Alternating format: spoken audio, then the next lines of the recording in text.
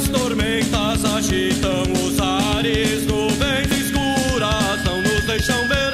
E ainda que nos esperem a dor e a morte, contra o inimigo nos chama o. Olá, seus anarquistazinhos. Não me segura que eu vou falar. E o assunto de hoje é autogestão. Oh, que diabo é isso mesmo? Bem, da maneira mais simples possível, é uma forma de gerenciar e executar diretamente o que lhe diz respeito.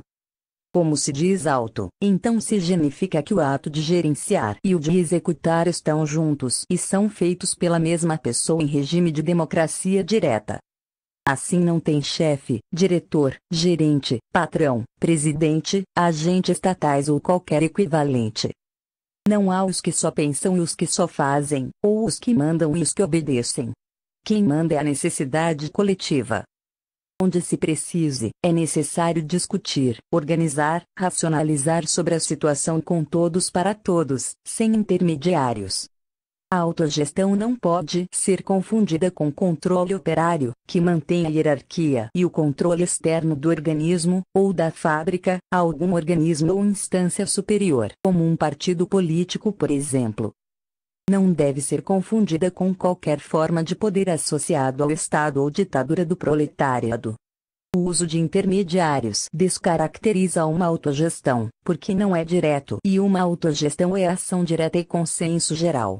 Essa forma alternativa de gestão vem para acabar com algumas barbaridades que o capitalismo faz com a natureza, explorando-a freneticamente. Acabar com o exército de reserva e o desemprego e acabar com a produção voltada para o lucro. Inclusive de uma minoria dominante, onde deveria ser voltada para o bem-estar da maioria oprimida. A autogestão, no sentido que propomos, significa o controle dos indivíduos sobre sua atividade produtiva e a colocação dos recursos materiais e dos meios de produção a serviço da satisfação das necessidades sociais e a substituição do Estado por organizações de indivíduos livremente associados. Veremos isso melhor em um vídeo sobre o poder popular. São exemplos de cooperativas autogestionárias em outros países. A famosa cerâmica Zanon, da Argentina, a editora anarquista Acpress, dos Estados Unidos e a corporação Mondragon, do país Vasco, que é a sétima maior corporação da Espanha. Mas, e se nem sempre tivermos consenso sobre uma ação? Pelas graças da Beyoncé, ainda bem não. Já que é importante que isso aconteça, pois são das discussões e debates que chegamos a um denominador comum. Essa prática só se aperfeiçoa com o uso.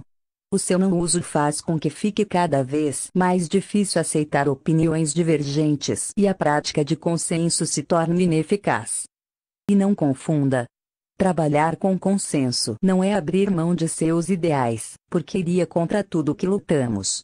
Autogestão é direta, é participativa, é consenso de ações, isso só se aprende com ação, não tem outra escola, é cada um assumir a responsabilidade de seus atos em prol da transformação social.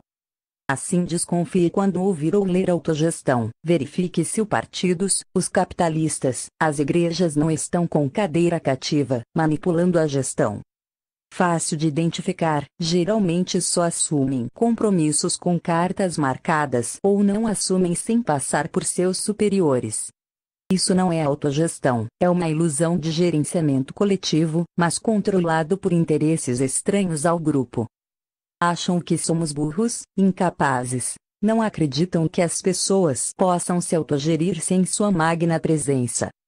Costumam dizer vamos consultar fulanos, cicranos ou pedir apoio ao comitê X do partido Y.